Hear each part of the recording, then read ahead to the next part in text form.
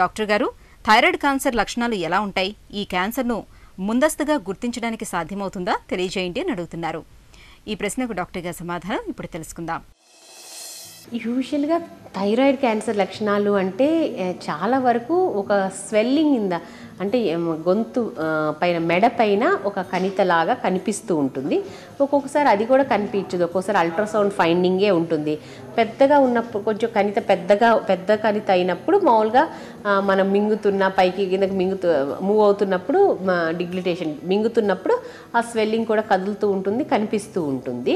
అంతకు మించి very advanced స్టేజ్లో అది బాగా అంటే ఒక కొన్ని కొన్ని టైప్ ఆఫ్ ఎనాప్లాస్టిక్ అసలు వీటిలో బాగా అది ట్రెక్ అదంతా ఇన్వాల్వ్ అయ్యి ఆయాసంగా ప్రజెంట్ చేస్తాము. హోర్స్నెస్ ఆఫ్ వాయిస్ అక్కడ నర్వ్ ఇన్వాల్వ్ అయ్యి గొంతు పొంగురు పోవటం ఇవన్నీ వెరీ ఎక్స్ట్రీమ్ చాలా అడ్వాన్స్ స్టేజ్లో ఉంటాయి. బాగా ఇనీషియల్ స్టేజ్లో మాత్రం యూజువల్గా కణితలాగా కనిపిస్తుంది. అలా కణితలాగా కనిపించినప్పుడు మనం ఫర్దర్గా టెస్ట్లు చేస్తాం. అల్ట్రాసౌండ్ నెక్ చేస్తాం ఫస్ట్ అల్ట్రాసౌండ్ నెక్లో తెలుస్తుంది అది ఏ టైప్ ఆఫ్ కొంచెం క్యారెక్టరైజేషన్ తెలుస్తుంది మార్ఫాలజీ ఆఫ్ ద దాని యొక్క ఆ కణిత యొక్క మార్ఫాలజీ అనేది దాని ఎలా ఉంది అనేది తెలుస్తుంది.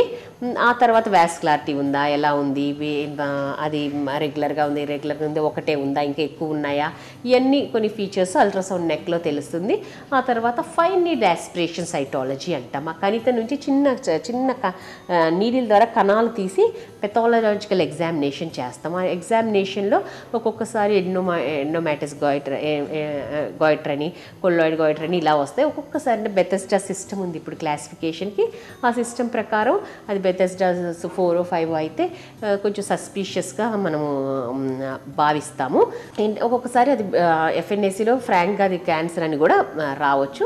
ఒకసారి అంటే మనకు అనుమానంగా ఉంటే క్యాన్సర్ అని వస్తే డెఫినెట్గా రెండు గ్రంథులు తొలగిస్తాము. అలానే లింఫ్ గ్రంథులు ఏమైనా ఉబ్బి ఉంటే ఆ లింఫ్ గ్రంథులు కూడా లింఫ్ డిసెక్షన్ నెక్ డిసెక్షన్ కూడా చేయాల్సి వస్తుంది.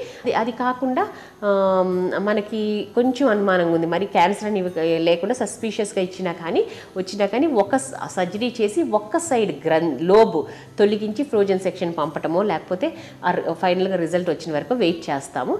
ఒకవేళ ఫ్రోజన్ సెక్షన్లో నిజంగా క్యాన్సర్ అని ఇస్తే అదర్ గ్రంథి కూడా తొలగిస్తాము. ఫ్రోజన్ సెక్షన్ కూడా అంత కరెక్ట్గా ఉండదు ఈ- ఈ థైరాయిడ్ క్యాన్సర్లో అందుకని ఒకవేళ ఈ ఫ్రోజన్ సెక్షన్ రాకపోయినా కూడా ఒక్కొక్కసారి ఫైనల్గా క్యాన్సర్ అని వచ్చే అవకాశం ఉంది.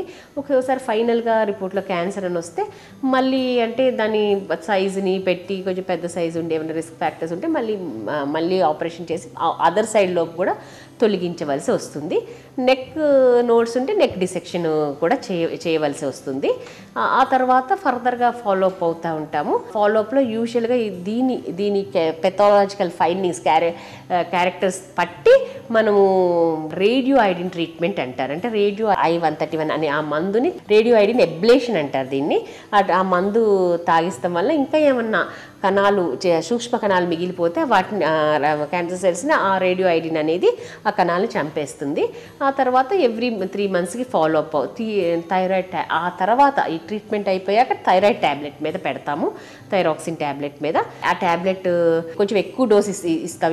ఎక్కువ డోస్ వచ్చి టీఎస్హెచ్ టీఎస్హెచ్ ఏంటంటే అది ట్యూమర్ సెల్స్కి గ్రోత్ ఫ్యాక్టర్ అనమాట అందుకని టీఎస్హెచ్ని సాధ్యమైనంత తక్కువలో పెట్టేసి పెడతాము. పెట్టి ఫాలో అప్ చేస్తూ ఉంటాము. అది మళ్ళీ అంటే ఫాలోఅప్లో ఏమన్నా తేడా ఉన్నా అల్ట్రాసౌండ్ నెక్స్ట్ చేస్తాం ఎక్కడ ఎక్కడ ఏదైనా తేడా ఉన్నా కానీ మళ్ళీ ఫర్దర్గా ఇవాల్యుయేట్ చేస్తాము. థైరాయిడ్ క్యాన్సర్ వల్ల క్యాన్సర్ అయితే భయపడాల్సిన అవసరం పెద్ద ఎక్కువగా లేదు థైరాయిడ్ క్యాన్సర్ వల్ల. ఎందుకంటే ఇది గుడ్ ప్రోగ్నోసిస్ ఉన్న క్యాన్సరు దీనివల్ల యూజువల్గా నైంటీ ఫైవ్ పర్సెంట్ ప్రాణాపాయం చాలా తక్కువ ఉంటుంది.